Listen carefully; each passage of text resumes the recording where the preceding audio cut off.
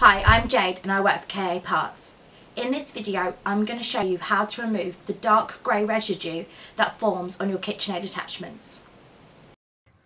Here is a KitchenAid beater, whisk and dough hook, which have not been put through the dishwasher but have been hand washed.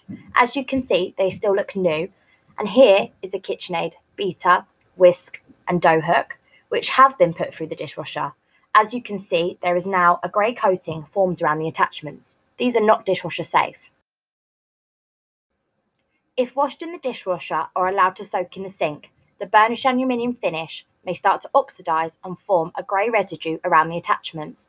The grey residue will then transfer into the ingredients you are mixing.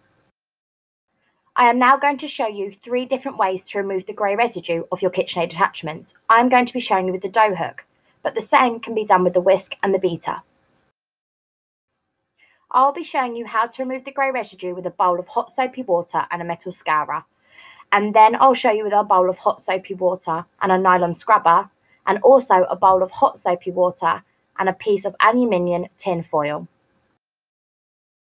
We are going to soak the dough hook in hot soapy water. Firstly, we are going to use a metal scourer. This will quickly remove the residue, but it will leave fine scratches on the surface.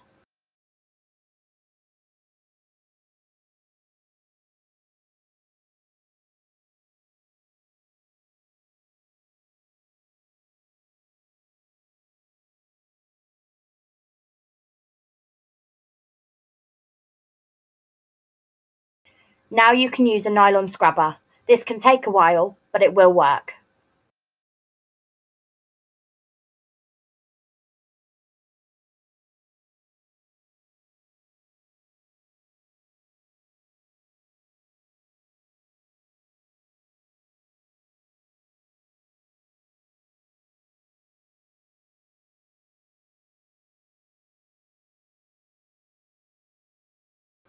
Another tip is to use scrunched up tinfoil, which is made from aluminium and will not scratch as badly as the metal scourer.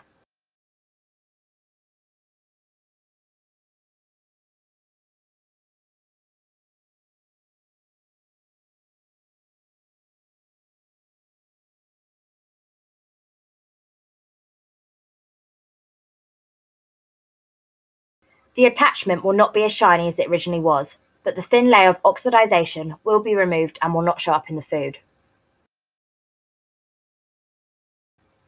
Please remember that whilst any of these methods will remove the grey residue from your attachments, the attachment will never look exactly as it did before the damage. I think the best method to remove the grey residue off your attachments is the nylon scrubber. I hope this video has helped you to remove the grey residue of your KitchenAid attachments. If you have any queries following this video, or you'd like to order any parts seen in this video, please visit our website www.kaparts.co.uk.